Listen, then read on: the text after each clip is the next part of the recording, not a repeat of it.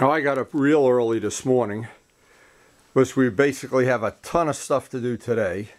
Mark's going to be coming by later this afternoon or tonight when he gets out of work. We're going to try to set the final decals on this, and that'll allow us then to get ready for a final day of clear. Glenn's packing up his stuff. We have a windshield to install. We're going to show our very excellent way of installing a windshield on a fairing that doesn't have the holes drilled yet. We're going to try to buff out some or all of the parts with Glenn's real high-tech buffing uh, machine that he has. And if we do run out of things to do, or in the next couple days, we'll pull the tires on here and start painting the wheels. But the first thing this morning I wanted to get a start on, these mirrors have been drying up by the heating vent overnight, and they're probably ready for some buffing out. Now it looks like the paint dried up nice, but I always like that final buffed out finish, that's for sure. And one thing we surely don't like is flat black. We, we just like to eliminate flat black out of my life. Oh, now while I'm waiting for Glenn to get here, I figured I'd just get a little bit of work done on these mirrors. I do my little paint test first thing.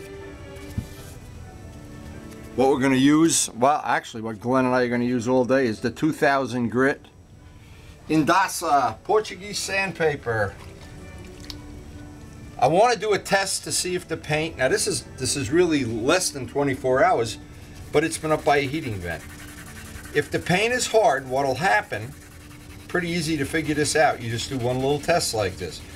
If the paint's not ready, we'll put it back up by the heating vent for the rest of the day. But if it's ready, I can get this buffed out get some of it buffed out before Glenn gets here because what I'm trying to do is leapfrog several projects all at the same time. And these mirrors, as, as insignificant as a part as this might be of the bike, every little bit on that bike helps. Because there were, at the very beginning, a lot of flat black parts. And one by one, as I've turned them into shiny black parts, I've liked the look of the bike, which of course is always subjective anyway. Maybe there's a world of people, especially young people, that uh, I'm not sure. But I know what I like. At my age, I know what I like. Good pizza. Now let me just show this. This now we're going to get to this where it's. Let me move the camera a little bit so we're out here. Okay, this paint flattened right out. But you can see up here there's still a couple little, like I'll call moon craters, dots. Well, we want the whole thing to look like this before we even try to buff it. If it's got any of those little spots in it, we're just going to keep sanding it. We want that to be perfectly flat before I ever even touch this with rubbing compound or buffing compound. Now, a real good trick using this sandpaper, which is, I think, really the best I've used. As I'm doing one little spot here, I'm using my fingertips here because it's this, this part has a constant curve to it your fingertips seem to be the, the most nimble at doing this. I'm trying to do, I'm trying to avoid the corners. I don't want to break through on a corner, even though this part has a lot of paint on it. I shouldn't, with 2000 grit paper, that shouldn't happen. But as I'm working on this, I do one little facet at a time.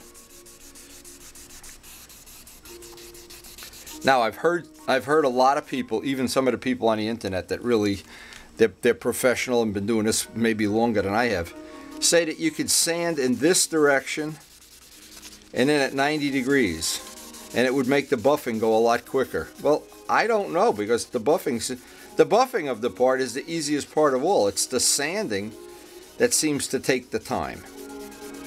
Now, when Glenn is here, and Glenn's got the big heavy duty buffer that uh, that he's comfortable using.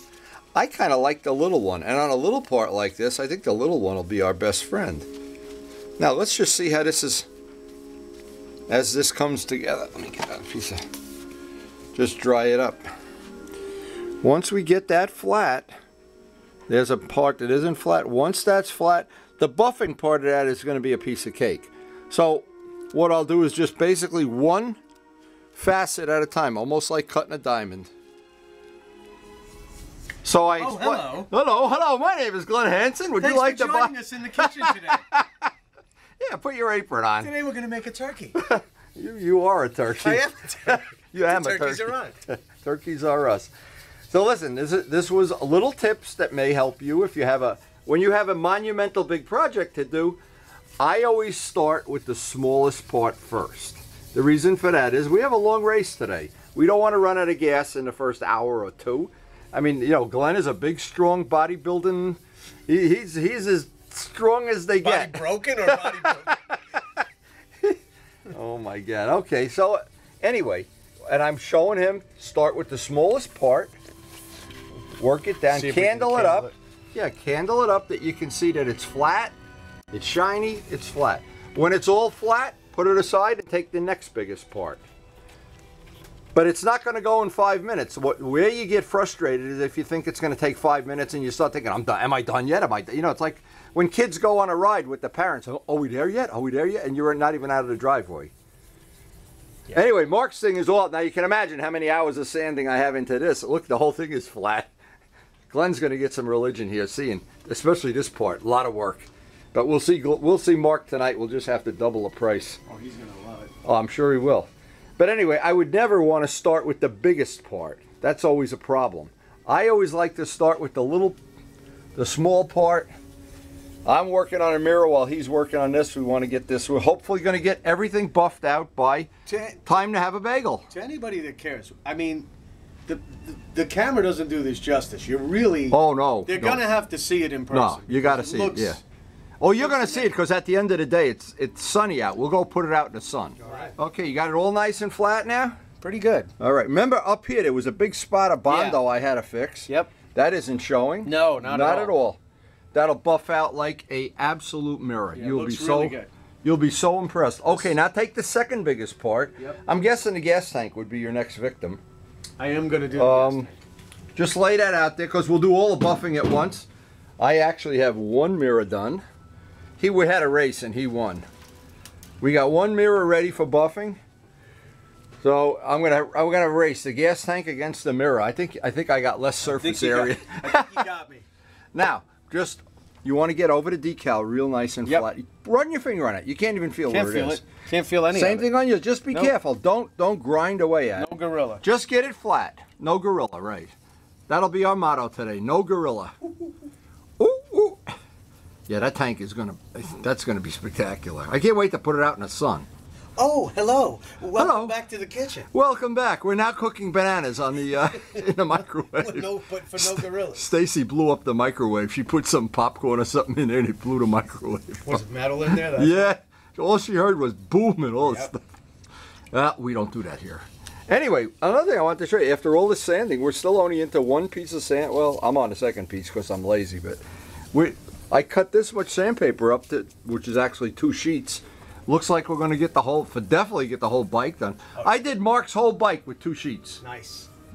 I mean, this stuff. Now, normally with the other paper, that'd be 10 sheets, Well, you know, with the other paper, the, the, the grit seems to once it gets It wet, goes away. seems to fall no, off. No, this is nice stuff, isn't it? It's beautiful. No, it works really well.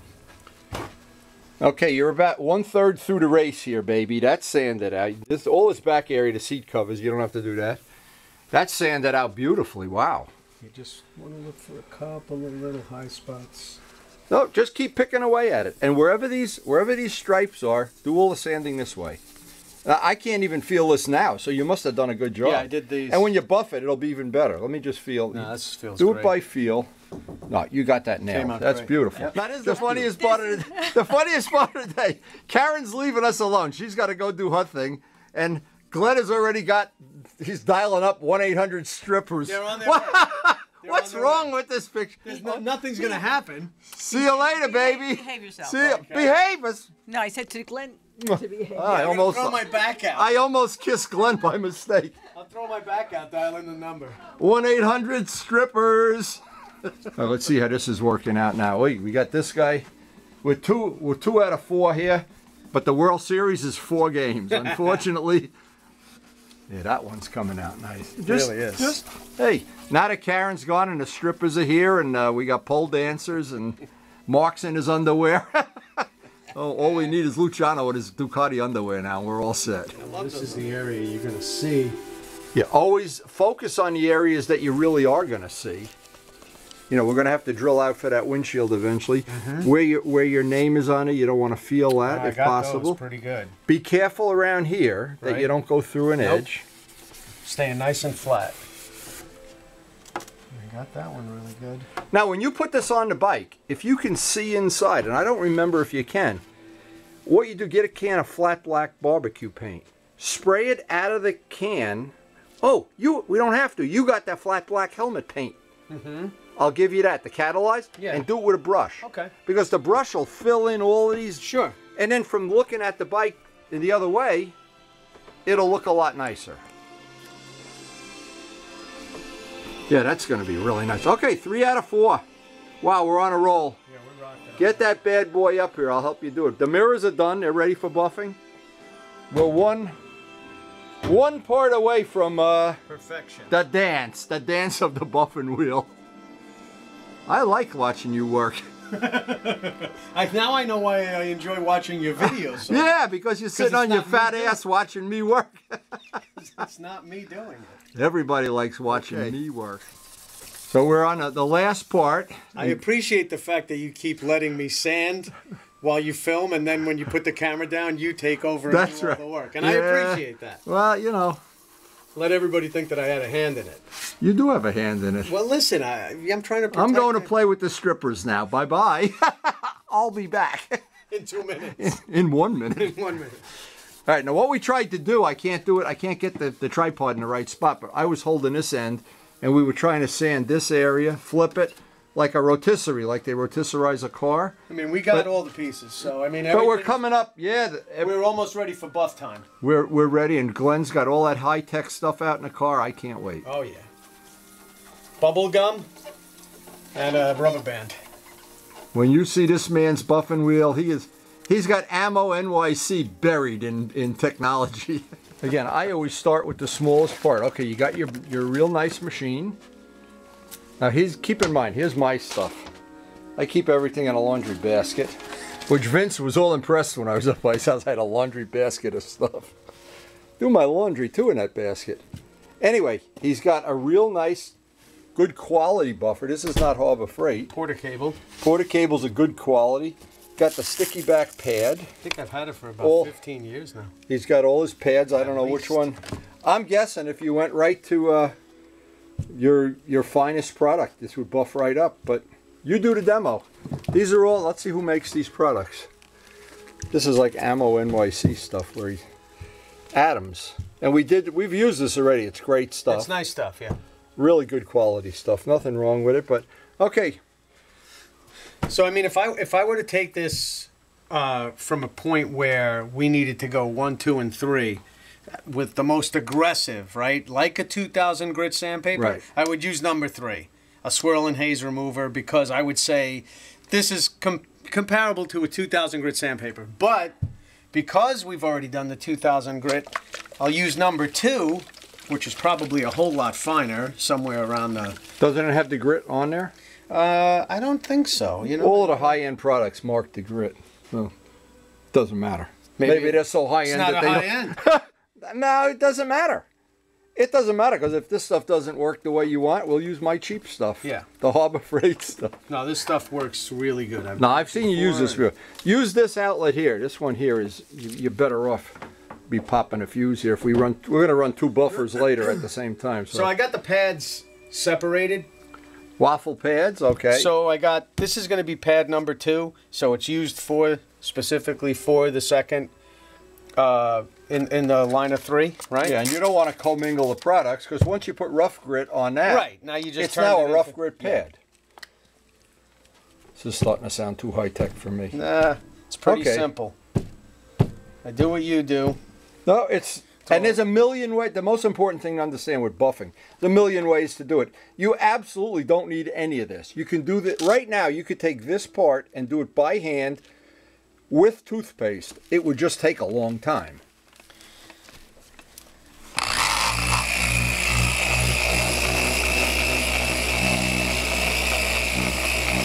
I'm just going to do the top here for a sec.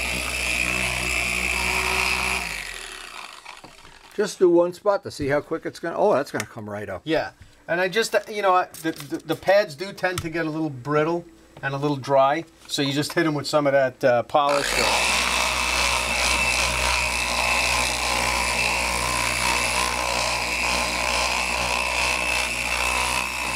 Now, when it comes to doing the parts, the big parts, I'm gonna, I want to be able to hold the part.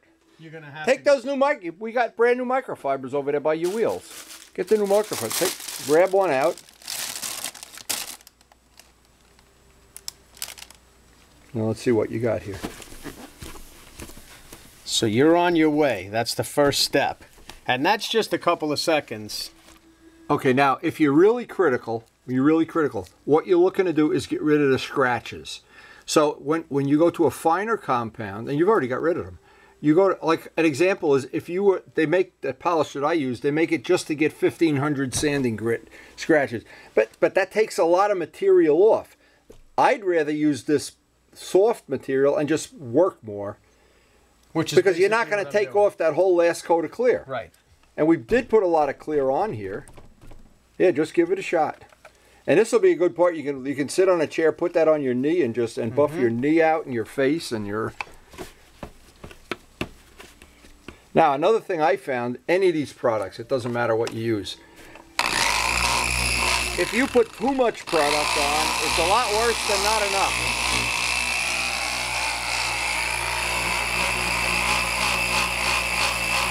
So what we want to do is we want to show. Yeah, give me that, that tank. This is what we've been doing when we've been buffing, and it's a good way. If when you're buffing, it's really nice to have a helper, especially if he works for, for bagels and coffee like I. Okay, so he's got the stuff. I'm using my knee for a pad here.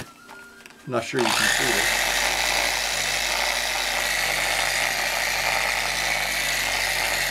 A lot of parts it's very difficult to hold while you're doing them.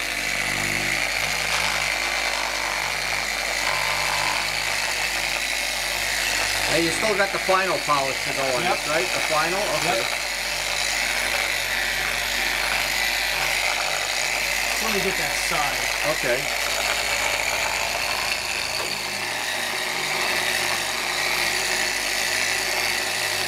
I gotta do the back one more time.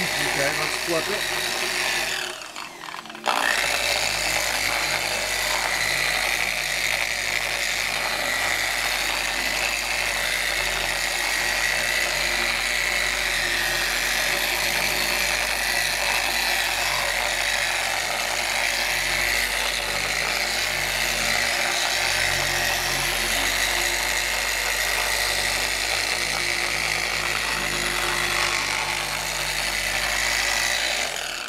Side. Now this is one second. Okay, one second. Yeah. This is why it's nice that we're at this point now, but we're not quite there yet. It's it's nice to have the A team, so it's easier if two guys get together and buff something together than if each guy does it individually. It'll take six hours and six hours. If they get together, you can do both of them in a time of one. And that's what I'm trying to show with this video, how Coming out nice. why we love the A team. Okay, let me see what you're. Looks like you got the. Shiny? Oh, I actually can't stare into the sun because it's no, it, it hurts your eyes. I know. That's beautiful Yeah, it stuff. came out nice. That's beautiful stuff. That is beautiful stuff, baby. Looking good. You have arrived at the pinnacle of bagel making here. There's no Great. doubt about it. All right, so we're done, right? I'm done. My bike's ready to ride. Oh, we Where the- your We bike? got the tank, the fairing. Uh, what You, else? you know what I found out over and- 52 years of doing this? They never do themselves. You got to go down and do it. So let's go Oh, down. And the whole rear. Back right? in, back in. Look this is usually where they cut the show. Oh. They get the stand-ins to come. Yeah, yeah. You get get the uh, the actor to jump off All the right, you roof. guys, come on over. Okay, you come buff the plane while we go have some coffee. Back into the black hole in space here.